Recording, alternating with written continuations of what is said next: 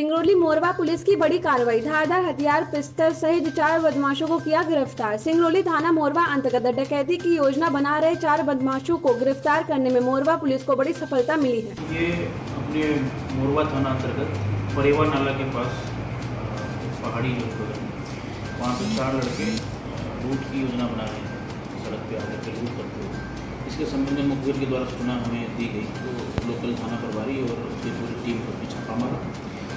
घेराबंदी करके उनको दौड़ा करके पकड़ा। इसके पश्चात उनके पास से जो है एक पिस्टल दो ज़िंदा कारतूस धारदार हथियार पाँच मोबाइल फ़ोन ये बरामद हुए हैं। साथ ही साथ फ्यूल भी जो है डेढ़ सौ लीटर के आसपास फ्यूल बरामद हुए हैं। सर क्या कुछ पता चला कि सर ये फ्यूल कहाँ से वो लेके आए? अभी तक तो उनसे पूछताछ नहीं हो पाई है। पूछताछ करेंगे तो उसमें फर्दर जो है आगे जानकारी आपको सर ये रहने वाले कहाँ के सर? ये सब मोरवा थाना अंतर्गत के हैं। सर इसके पहले भी कुछ इनके थे? इनके ऊपर जो है पहले भी मुकदमे दर्ज हो चुके हैं तीन सौ निन्यानवे के तहत। ये आदतन अपराधी हैं पहले भी उन्होंने ऐसी घटनाएँ कारित की हैं।